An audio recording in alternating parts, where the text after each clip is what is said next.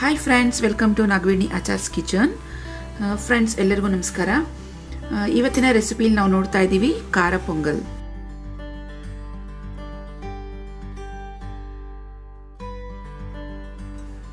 ಅರ್ಧ ಗ್ಲಾಸಷ್ಟು ಹೆಸರುಬೇಳೆ ತಗೊಂಡಿದ್ದೀನಿ. ದೋಸಾ ರೈಸ್.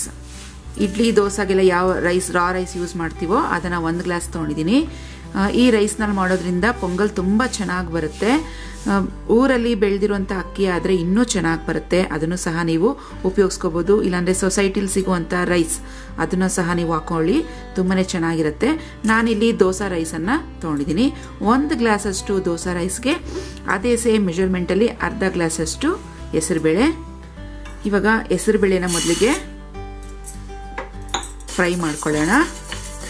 ಹೆಸರುಬೇಳೆ ಫ್ರೈ ಮಾಡಿದಾಗಿದೆ. ಒಂದು ಐದು ನಿಮಿಷ ಫ್ರೈ ಮಾಡಿದ್ದೀನಿ ಸ್ಟವ್ ಆಫ್ ಮಾಡ್ಕೋತೀನಿ.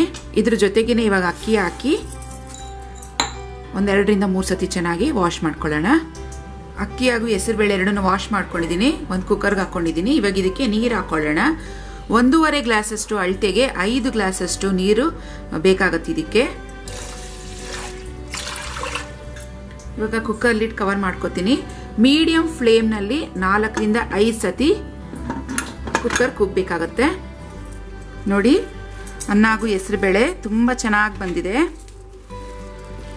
ನೋಡಿ, ಇದನ್ನು ಸ್ವಲ್ಪ ಲೈಟಾಗಿ ಈ ಥರ ಸೌಟ್ನಲ್ಲೇ ಮಸ್ತ್ಕೊಳ್ಳಿ. ಖಾರ ಪೊಂಗಲ್ಗೆ ಒಗ್ಗರಣೆ ಹಾಕೊಳ್ಳೋಣ. ಇದಕ್ಕೆ ಎರಡು ಸ್ಪೂನಷ್ಟು ಎಣ್ಣೆ ಹಾಕಿದ್ದೀನಿ. ಎರಡು ಸ್ಪೂನಷ್ಟು ತುಪ್ಪ. ಗೋಡಂಬಿ ಹಾಕ್ಕೊತೀನಿ ಒಂದು ಹತ್ತು ಪೀಸಷ್ಟು ಗೋಡಂಬಿ ಸ್ವಲ್ಪ ಕೆಂಪಕ್ಕೆ ಹುರ್ಕೊಳ್ಳೋಣ.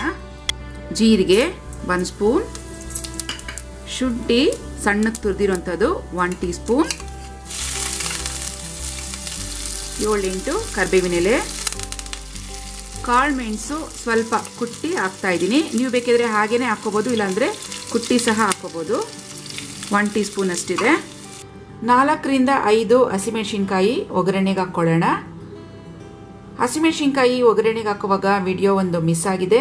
ಸೊ ನೀವು ಒಗ್ಗರಣೆಗೆ ಹಸಿಮೆಣಸಿನ್ಕಾಯಿ ಖಾರಕ್ಕೆ ಎಷ್ಟು ಬೇಕೋ ಅಷ್ಟು ನೋಡಿಕೊಂಡು ಹಾಕ್ಕೊಳ್ಳಿ ಇದಕ್ಕೆ ಇವಾಗ ಬೆಂದಿರುವಂತಹ ಅನ್ನ ಹಾಗೂ ಹೆಸರುಬೇಳೆನ ಹಾಕೋತೀನಿ.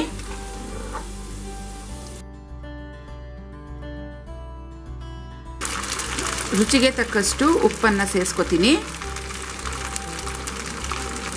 ನಾನು ಬೇಯೋವಾಗ ಉಪ್ಪನ್ನು ಹಾಕಲಿಲ್ಲ, ಇವಾಗ ಹಾಕ್ತಾ ಇದ್ದೀನಿ.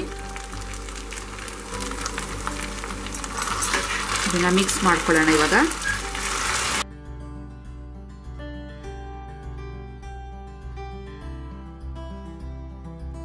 ತೆಂಗಿನಕಾಯಿ ತುರಿ ಎರಡು ಟೇಬಲ್ ಸ್ಪೂನ್ ಅಷ್ಟು ಹಾಕ್ತಾ ಇದ್ದೀನಿ. ಇದನ್ನ ಮಿಕ್ಸ್ ಮಾಡ್ಕೊತೀನಿ.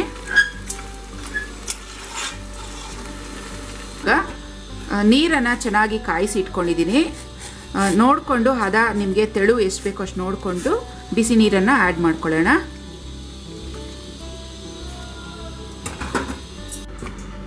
ನೋಡಿ, ಪೊಂಗಲ್ ರೆಡಿಯಾಗಿದೆ.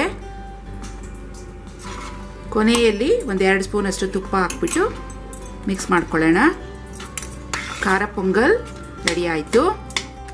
ಖಾರ ಪೊಂಗಲ್ ಬಿಸಿ ಬಿಸಿ ತಿಂದರೆ ತುಂಬಾ ಚೆನ್ನಾಗಿರುತ್ತೆ. ತಣ್ಣಕ್ಕಾದ್ಮೇಲೆ ಗಟ್ಟಿ ಆಗತ್ತೆ ಪೊಂಗಲು ನಿಮಗೆ ಆವಾಗ ಸ್ವಲ್ಪ ಬಿಸಿ ನೀರನ್ನು ಸೇರಿಸ್ಕೊಂಡು ಮತ್ತೆ ಬಿಸಿ ಮಾಡ್ಕೊಳ್ಳಿ, ಮತ್ತೆ ತೆಳುವಾಗತ್ತೆ.